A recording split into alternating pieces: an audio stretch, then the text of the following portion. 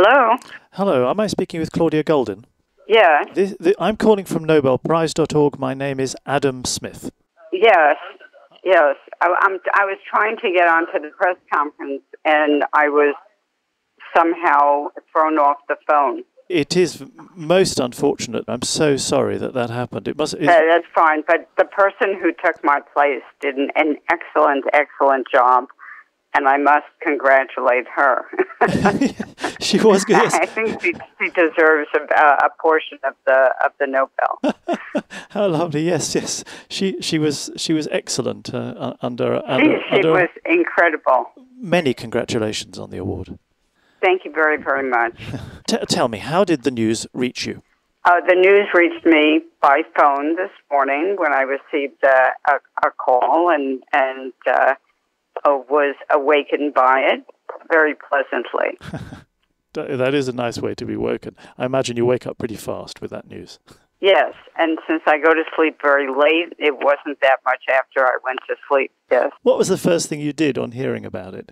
Uh, the first thing I did upon uh, hearing it was um, I uh, told my husband, who obviously had some idea of what was going on.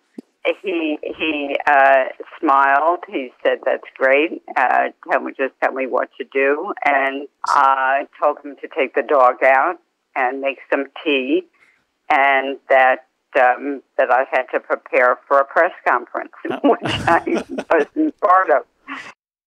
I'm glad the dog made it into this call as well, because of course Pika features on your website.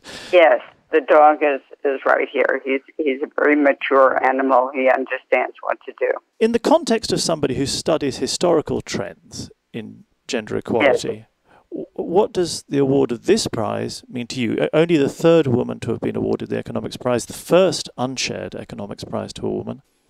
Uh, well, it, it certainly means a, a tremendous uh, amount. It also means a lot because it's an award for big ideas and for long term change. Uh, the Nobel is often given for extraordinarily important findings and ideas, often theoretical. Um, but there have been uh, prizes awarded for uh, what I call big ideas and long term change.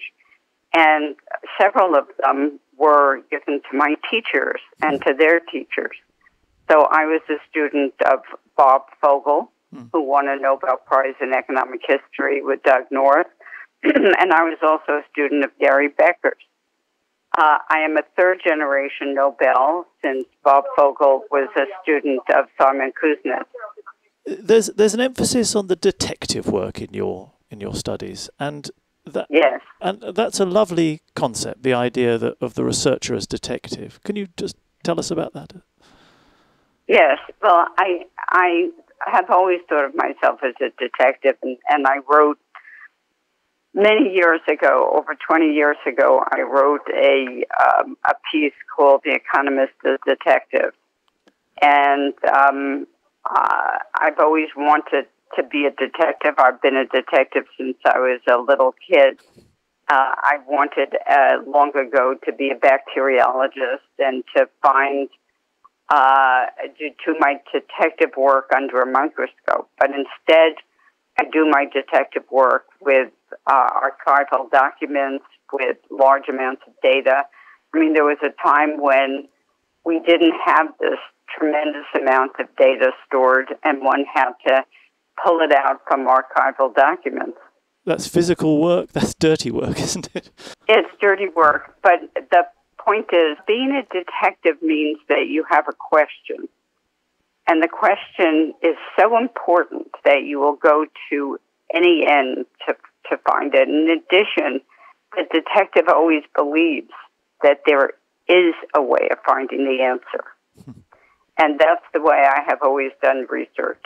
That's wonderful. And it's the passion for the question that drives it all, isn't it? Yeah, I, I think that that's what it is. Sometimes questions are so large and so important that no one's going to tell you that you can't answer them It takes you right back to being a childhood detective when children don't understand that there are limits to what they can do, which is wonderful. Uh, precisely. When I was um, uh, in high school and got interested in the field of bacteriology, I would read about the famous microbe hunters. That wonderful book by Paul de Kruif. That's exactly right. And it has influenced countless individuals. That book has influenced generations of laureates before you, and how, how lovely that uh, it continues to be an Yes. influence. Yes. Yeah, and So they're they're now they're now interviewing my doppelganger, oh, you, you're, you're interviewing Randi. Oh, yes. Randi. Yes. Yeah. Yeah. I don't know if I've ever met Randi, but I certainly need to meet Randi. well, you and you certainly will come December. Oh, that's wonderful. And once again, many congratulations. certainly. Bye now. Thank you. Bye bye.